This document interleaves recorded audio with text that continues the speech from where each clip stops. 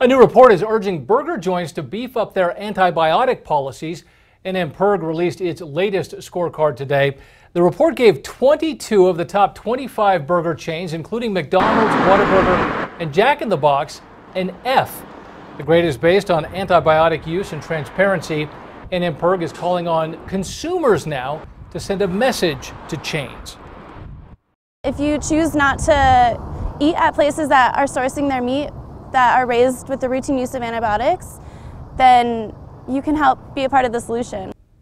Shake Shack and BurgerFi were the only burger chains that received A's.